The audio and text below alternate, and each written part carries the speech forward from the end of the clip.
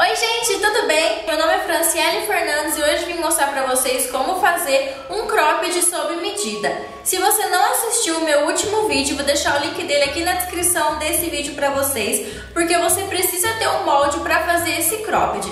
Porém, se você não quiser fazer esse cropped sob medida, não tem problema que eu falo pra vocês no vídeo que você pode utilizar uma outra peça de roupa como molde, tá bem? Espero muito que vocês gostem. Se você gostar do meu vídeo, por favor, aperte em gostei para me ajudar na divulgação. Se você não é inscrito no canal, se inscreva, ative as notificações e bora começar? Então, meninas, eu tô aqui com o meu molde pronto.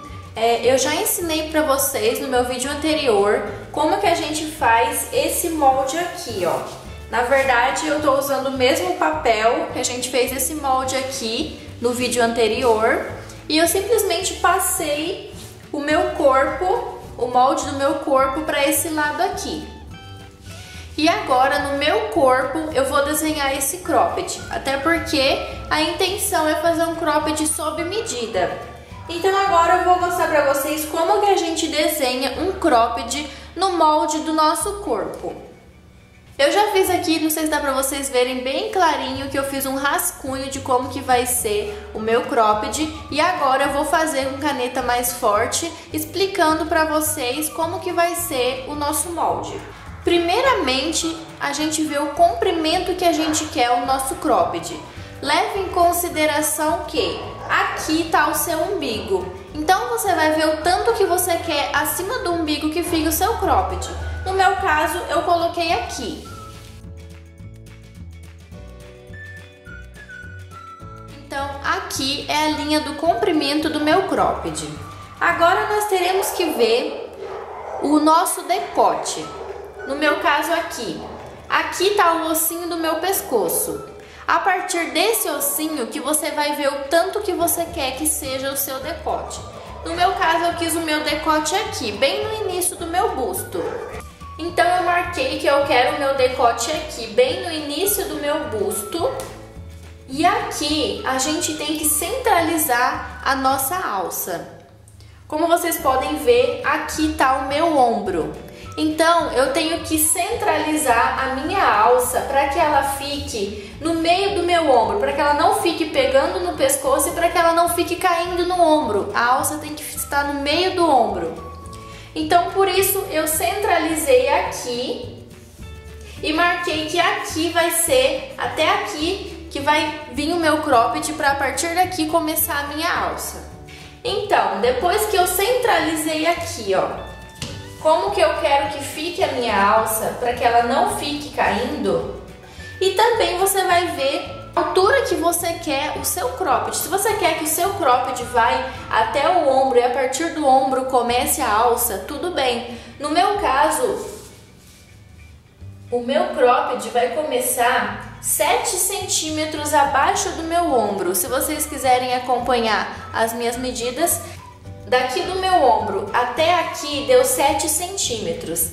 Essa outra marcação que eu fiz aqui ao redor não é nada, é simplesmente um centímetro da margem de costura que eu quis marcar para fazer um, um, molde bem detalhado para vocês.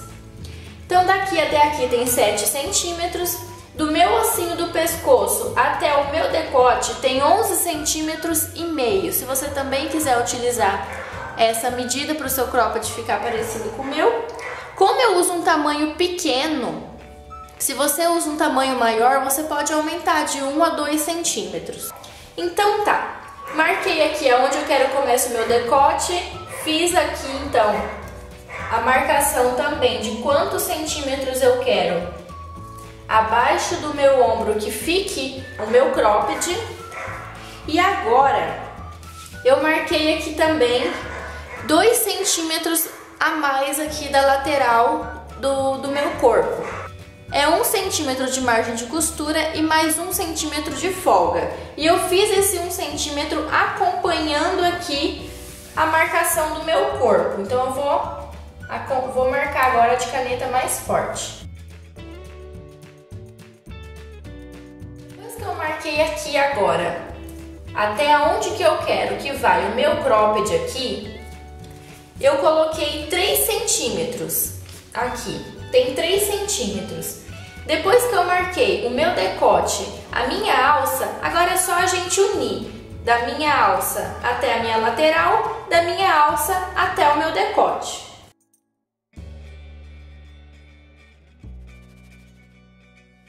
Então, fiz aqui a marcação do meu cropped agora. E eu vou fazer a marcação também da minha margem de costura. Aqui, ó, eu fiz vários pontinhos, porque eu fui marcando assim. Eu peguei minha régua, marquei um centímetro. Vim aqui, marquei um centímetro.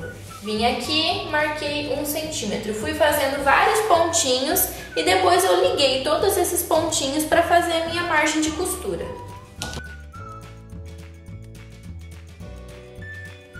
Nessa parte aqui, a gente não precisa colocar margem de costura porque nós vamos cortar com tecido dobrado. E esse molde aqui é o molde da parte da frente do nosso cropped. Então, gente, espero que vocês tenham entendido bem esse molde aqui. Se você não conseguir fazer esse molde, se você acha que você tem muita dificuldade para fazer um molde desse, pegue um outro cropped que você tem, pegue uma peça de roupa e use o molde dessa peça tá bem? Porque é muito, gente, eu não acho difícil essa modelagem, é uma modelagem muito fácil. O meu curso que eu fiz lá em Florianópolis, a modelagem é muito complicada. Se eu fosse mostrar para vocês a modelagem do meu curso, vocês não iam entender nada. Essa modelagem aqui é uma forma que praticamente eu inventei, é uma forma assim que eu não vi em nenhum vídeo, não é também a forma que eu aprendi no meu curso, é uma forma que eu praticamente inventei para fazer a modelagem, uma forma fácil que eu tenho para passar para vocês. Então eu espero muito que vocês consigam fazer. Se você não consegue fazer o molde, você tem que assistir o vídeo devagar, prestando muita atenção, porque se você não prestar atenção no vídeo, você não vai entender. Então assista ao vídeo prestando muita atenção nas medidas, em tudo que eu falo, no porquê de cada marcação que a gente faz, tá bem? Tem muita gente que perguntou no meu vídeo passado a parte das costas. Como muita gente nem conseguiu entender a parte da frente, se eu fosse fazer um outro molde com a parte das costas, aí que ninguém ia entender nada, ia ficar muito complicado. Então você pode usar o mesmo molde da frente para fazer a parte das costas, tá bem?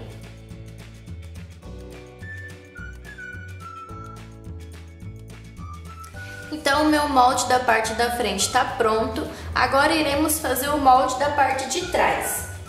O molde da parte de trás a gente pode fazer aqui no próprio molde da parte da frente. Daí a gente vai fazer o que? Vamos cortar primeiro o molde da frente, depois iremos cortar novamente o nosso papel para fazer a parte das costas.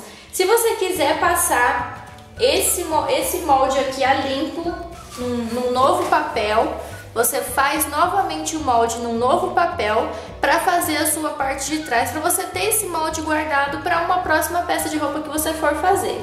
Porém, como eu sempre estou fazendo moldes, esse molde eu não vou guardar. Então eu vou fazer o meu molde da parte de trás aqui no meu próprio papel meu, da minha parte da frente. Depois eu vou cortar e provavelmente eu não vou guardar isso. A nossa parte de trás nós vamos precisar dessa marcação aqui, ó, que é a marcação do corpo. Não vamos precisar da marcação do cropped. Vamos precisar da marcação do corpo. E o nosso corpo vai vir até aqui. Aqui é um centímetro da margem de costura. O nosso corpo vai vir até aqui. Vou fazer uma linha reta aqui. Não precisa chegar até o final. Deixei um centímetro e meio sobrando aqui. E agora eu vou pegar aqui a minha régua francesa e eu vou marcar daqui de baixo até mais ou menos aqui. Vou deixar aqui 3 centímetros, vou, aba vou abaixar 3 centímetros. Você também pode fazer de 3 centímetros, abaixar 3 centímetros. E agora eu vou unir daqui até ali, o final do meu corpo. Fiz a lápis, agora eu vou passar a caneta. Vou fazer de outra cor para vocês identificarem que isso daqui é a parte de trás. E depois nós vamos cortar.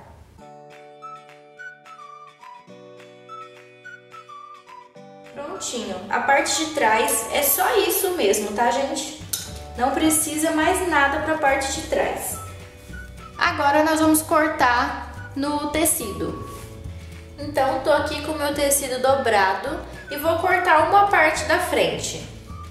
Lembre-se que essa parte aqui do decote fica na dobra do tecido. A dobra do meu tecido tá aqui.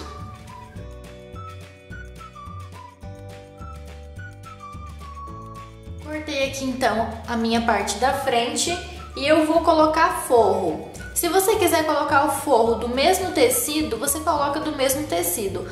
Como eu acho que o meu tecido pode não dar, eu vou fazer o forro de um outro tecido que eu tinha aqui. Vou fazer desse tecido que ele é mais fininho. Também vamos cortar com o tecido dobrado. E o forro nós não vamos cortar até aqui embaixo, tá? O forro pode ser um pouco mais curto.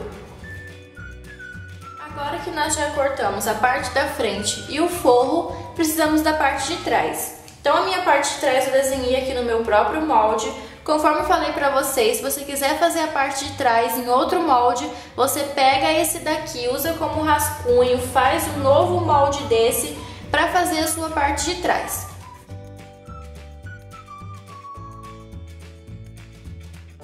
Nossa parte de trás, essa pontinha que ficou aqui a gente vai tirar, vamos cortar reto. Não vamos cortar com aquela pontinha, vai ser reto. Também com o tecido dobrado, vamos cortar duas partes dessa aqui de trás. Como eu não fiz esse moldezinho com margem de costura, eu tô deixando aqui um centímetro de margem. A primeira parte da costura vai ser colocarmos o forro. Pegue a sua parte da frente e pegue o seu forro. Coloque assim a sua parte da frente com a estampa e o forro em cima da, do lado certo, né? No meu caso, o lado estampado. Vamos colocar o forro aqui por cima e vamos costurar aqui o decote e aqui. Por enquanto não vamos costurar aqui em cima, porque depois nós vamos colocar a alça, tá? Somente aqui o decote. Então já coloquei aqui o meu forro, já costurei o meu forro conforme falei pra vocês. E aqui na minha parte da frente eu fiz duas pences assim de um centímetro, pences pequenininhas. Se você quiser fazer pence também você faz, senão não tem necessidade. Eu fiz porque eu gosto da peça bem modelada no corpo, por isso eu fiz a pence. Se você não quiser fazer, não tem necessidade. Eu também já preparei aqui as minhas tirinhas, que vão ser as minhas alças. Se você não sabe fazer tirinhas, eu vou deixar um link aqui na descrição desse vídeo que é um vídeo que eu mostro como que eu faço as minhas tirinhas. E agora você vai pegar as suas alças, depois que você fez elas, e vai colocar elas aqui, ó, por baixo do forro e vai deixar uma pontinha para fora. Dessa forma, deixei aqui a minha pontinha para fora. Vamos fazer isso dos dois lados e vamos fechar, passar uma costura aqui. Lembre-se de deixar a costura da sua tirinha virada para o forro, tá bem? Porque dessa forma ela não vai ficar aparecendo na frente da sua blusa, ela vai ficar para trás a costura.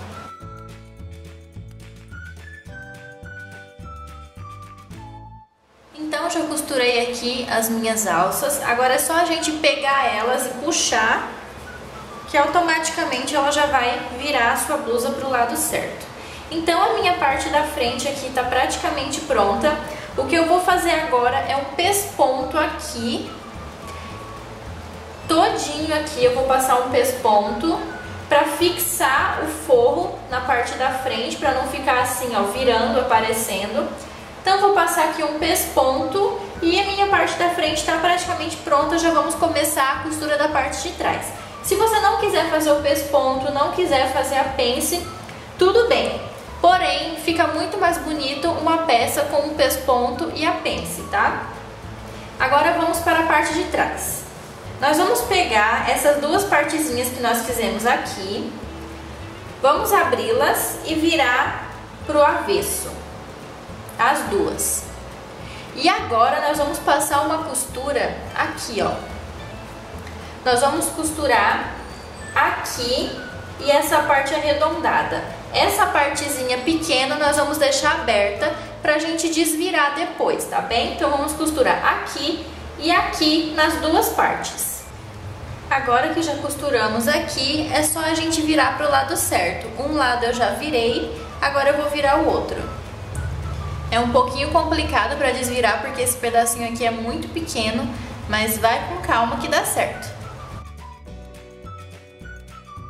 Então já desvirei aqui as minhas duas partes e a intenção é essa, ó, ficar tipo um lacinho nas costas quando a gente amarrar. Aqui a gente vai dar um nó e essa parte aqui vai ficar nas costas. Agora vamos dar o último acabamento na parte da frente antes da gente colocar essa parte nas costas. Aqui na parte da frente ficou sem acabamento aqui embaixo.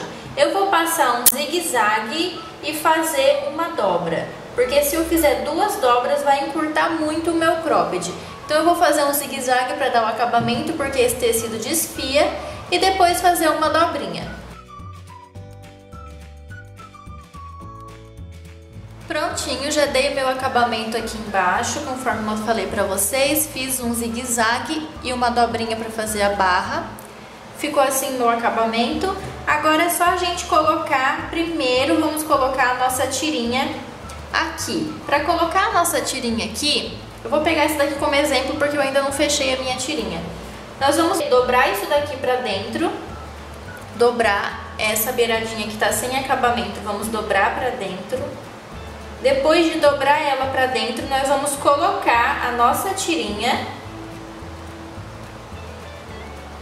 dessa forma, colocar a tirinha para ela ficar toda embutida a costura. Deixa eu dar um zoom aqui para vocês verem. Então olha aqui, ó. Dobrei para dentro a beiradinha e coloquei a minha tirinha por dentro. Feito isso, Vamos passar uma costura aqui, fixando a tirinha nessa nossa parte de trás aqui, tá bem? Então, meninos, já costurei aqui a minha tirinha na minha parte de trás, conforme falei pra vocês. Olha como ficou o acabamento. A tirinha ficou pregada aqui e também o acabamento ficou assim, ó, ficou todo embutido. E agora é só a gente fazer assim. Vamos colocar essa parte reta, vai vir aqui na nossa blusa, na parte da frente, e o outro lado a mesma coisa. Essa parte reta aqui vai vir desse lado. E agora vamos costurar aqui e aqui os dois lados.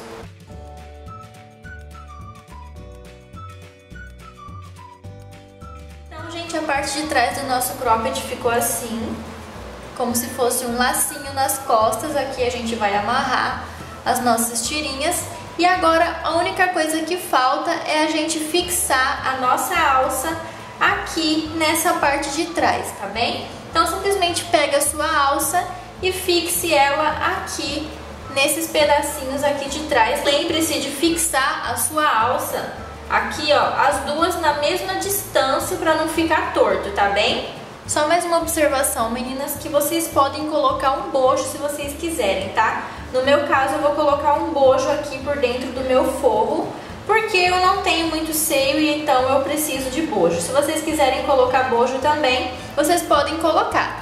Se você gostou do meu vídeo, por favor, aperte em gostei. Se você não se inscreveu no canal, se inscreva. Se você conseguiu fazer essa peça de roupa, manda pra mim uma foto lá no meu Instagram, arroba francielefnds, que eu tô muito curiosa pra ver as peças de vocês, tá bem?